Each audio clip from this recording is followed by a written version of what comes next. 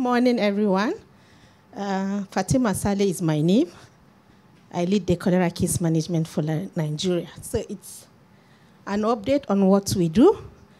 Permit me to give some histories because um, it's good to have some background, even though I know most of us know that Nigeria is, is a continent on itself.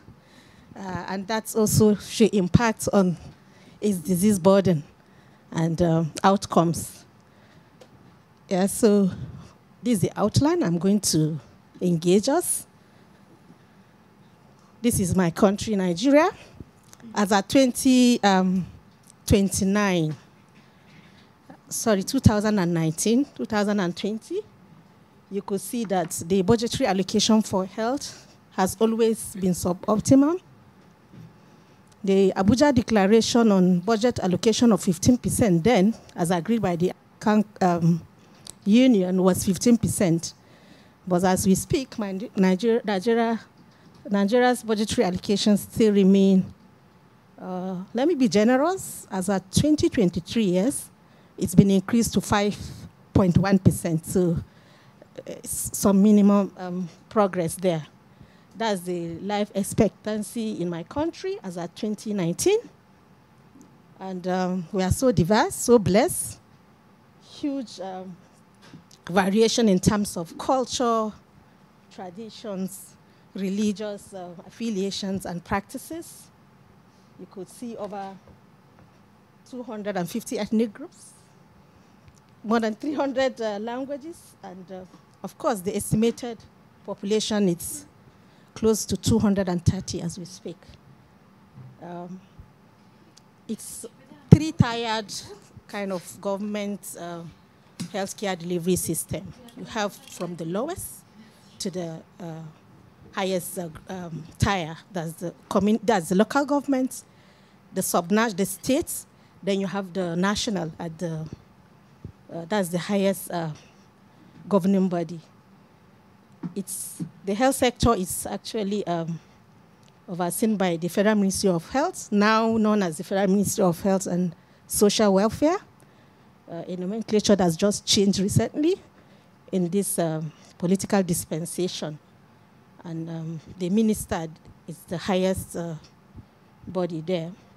Uh, in terms of um, healthcare delivery, we know government is not the one doing it alone.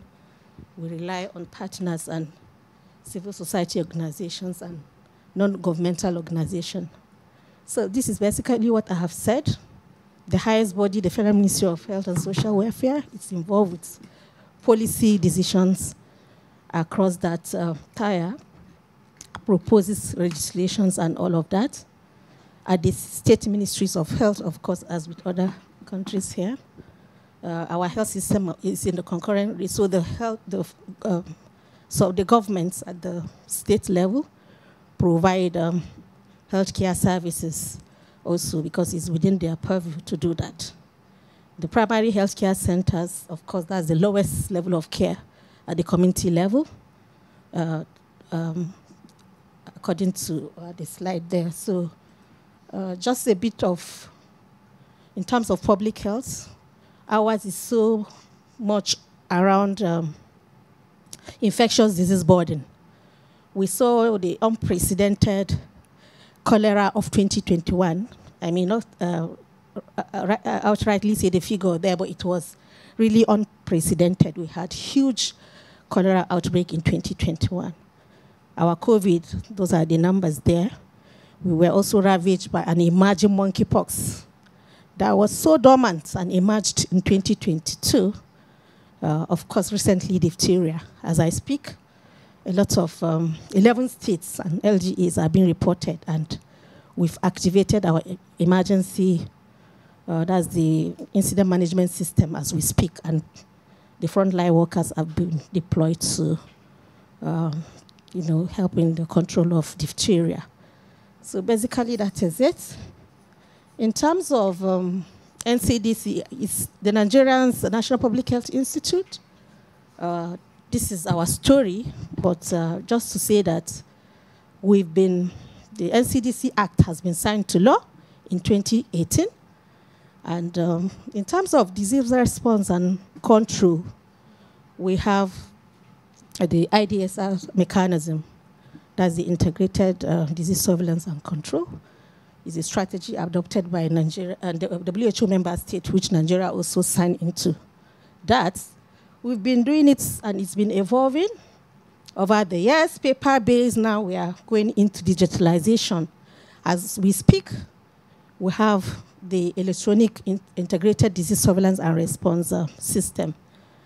So, and the guideline that um, guide that has also evolved over years, uh, which will show. Uh, so the guideline is to guide the collation, analysis, and communication of health data, especially of, of public diseases of public health importance, because that's our purview.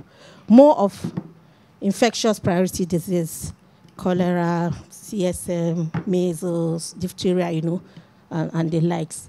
It's such that that data that is being generated is for action because over the years, it's before the implementation of the IDSR, it's not so structured as we are going to see. But uh, when the IDSR came into being, uh, 1998, as adopted by Afro regions, you know, the surveillance uh, narrative changed, as we all know. So Nigeria was also part of that journey. In 20, 2002, we had the first um, edition of the IDSR technical guideline, you know, that um, we use for reporting, collation, and analysis of our infectious disease data, which cholera is one of. Then the diseases were mainly the epidemic prone ones, and those targeted for elimination and eradication and some diseases of public health importance. 2010, we saw expansion of the disease coverage in terms of non-communicable diseases and some uh, emergencies of international uh, concerns. And as we speak, currently we have the latest version, the 2019, which is the third edition, that has also factored into some of those emerging issues reimagine issues and lessons that we learned from all of this outbreak to really improve on the technical guideline.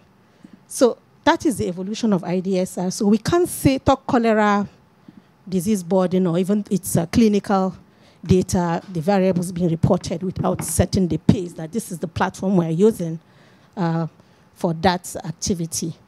I have mentioned all of this just for emphasis.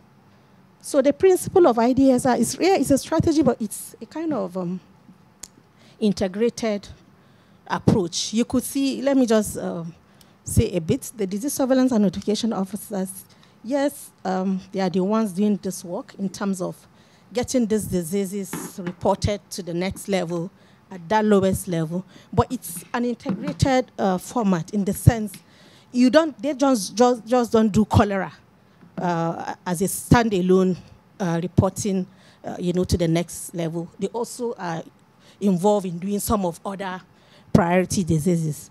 Why am I saying this? So that we know the enormous work these people are, are, are doing. And that could also be responsible for maybe why we are not getting it right because they have been, been overworked. As we speak, we have more than 41 priority diseases that are being reported through this uh, mechanism in Nigeria. And it's the same people same structures, processes, same resources, you know, doing all of this. So uh, it's the the ideas are we all know it's meant to really make these things integrated instead of those vertical uh, formats we, we used to have in the years uh, past before the coming of IDSR. And the coordination is better. You see that we have uh, we have such human resources in our database. We have a network, how we you know communicate we meet sometimes monthly, depending on, on how it, uh, what it is and the context uh, we're having at hand. And um, we have also a network where we meet with some of them, the state epidemiologists. So it's, it enhances coordination, really, and uh, integration of all of this. Just uh, to remind us that, yes, this is the format uh, of disease uh, reportage from the community, the local government, as we call it in Nigeria, the DSNO, they're in charge of that, you know, collect all of this data from the health facilities within that catchment uh, LGA to the next level, the state level, through the state epidemiologists, and then you get it to the national, the NCDC, which primarily uh, our mandate cuts across um, epidemiology and surveillance of diseases. So with that, again, you could see uh, how that is also being done uh, with the partners. And a key uh, agency, the National Public Health, or the National Primary Healthcare Development Agency, because that's the body that really is, um, that has the mandate, you know, to really um, oversee the lowest level of care, that's the primary health care level and the community level, because they have all the structures and personnel in the local government levels that does all of this reportage. So this is just uh, the line list, um, just a sample of how we get these diseases um, documented and um, yeah, uh, communicated to the next level. This is the uh, paper-based format, you know, before uh, the transitioning into the electronic format, uh, which is the one we are going to see in terms of SORMAS. Uh, that's we are now we have digitalized our IDSR using the platform called the SORMAS, which is uh, an acronym for Surveillance Outbreak Response Management and Analysis System. Uh, thanks to the German uh, Ministry of Health and the people of Germany for providing this platform that we are using for such uh, activity. It's a real-time kind of, it enhances real-time. You could see once such variables are entered into such a platform, you'll be seated wherever you are. Once you have the access, you'll be able to get all the data with all the variables. And it has an, a mobile application uh, platform and also a web-based. Uh, it has a lot of modules covering even uh, MIE. You could, uh, um, pre, it pre-analyzes data, case management, contact tracing, name it. Um, the modules are so, so flexible that you could create different models of what you actually want. So we are happy to say yes for cholera case management. We are also beginning to leverage on this because it will really help us get real-time data to inform decision making. So this is the advantage the SORMAS has over the paper-based standardization, of course, because these people are also being onboarded, they are trained on the use of this thing. So we are speaking the same language, communicating the same thing, same vocabulary, nobody is left behind. So in terms of timeliness and completeness, because it's always been an issue with our paper-based surveillance, so this has taken care of that. Um, outbreak, uh, um, you know, information, manual data entry with the errors, definitely that is also being um, tackled. Rapid transmission, I mean, that is what it is. Better management of data in an automated fashion. Again, um, it has a lot, it depends on what you feed into that SORMAS platform.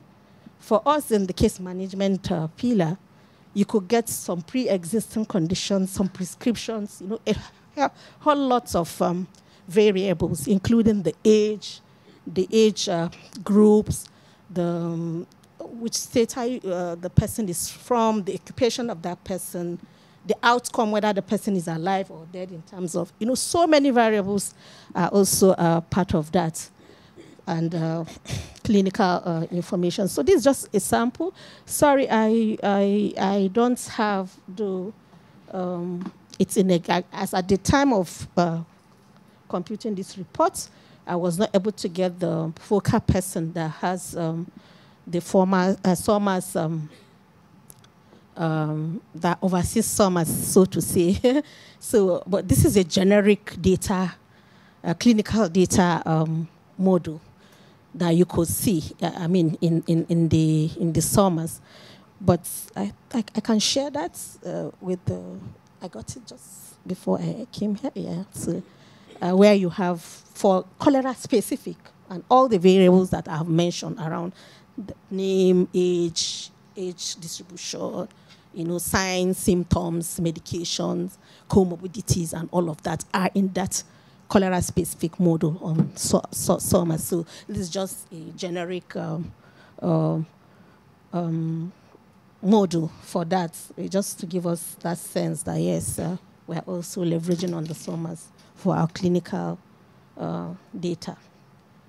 Yeah, so it's it's it's so versatile that you could it's flexible for you to really uh, create such models for what's um, so uh, pinning down to case management uh, in line with I think global task force on the overall. This is our objective of the case management pillar is about reducing mortality.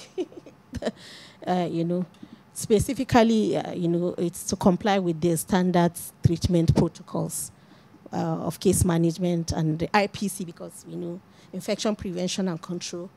Uh, you can't talk of cholera case management without talking of uh, infection prevention and control. So as a pillar, actually, we, we often work together.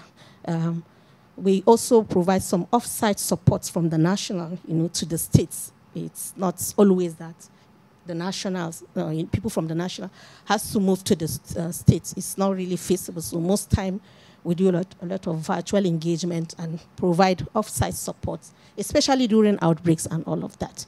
We also uh, support trainings and supportive supervisions of clinicians. As we speak, we have this uh, um, a standard treatment guideline for cholera according to our context in Nigeria, because uh, before now we tend to see a lot of treatment protocols and guidelines being used by different levels of care, by different uh, partners supporting our work. So we we say, hey, let's come together and have a standardized treatment protocol that everybody uses, you know, just for standardization and uh, efficiency. So as at um, week one to week 20, 36. This is the, I'm not sure if the, the global has this, but this is the case, uh, cholera cases that we're having in Nigeria. Uh, and uh, it suffices to say uh, those are the top 10 states that, you know, um, reports uh, such uh, um, cholera cases. Yeah, so.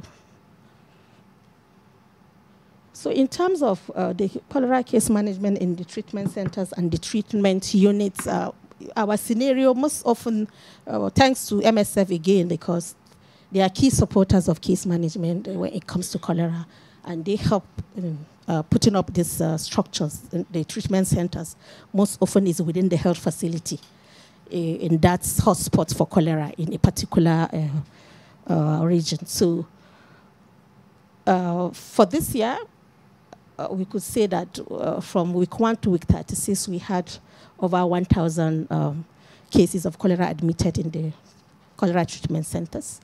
And that's the case fatality 2.4. Uh, we have these of uh, uh, over 1,000 as well. Uh, the recovery is 98, we could see from there. So in all again, for these units, you know, the units are the smaller, the treatment units are the smaller, ones, and we have 32 uh, since the beginning of uh, this year in terms of cholera treatment units in 25 states in total. And we've um, admitted more than 1,000 again, see the figure 1,221, and, and deaths uh, recorded 44 deaths with a CFR of 3.3%. Uh, we had a total discharge of 1,207 and that's the recovery we are seeing there.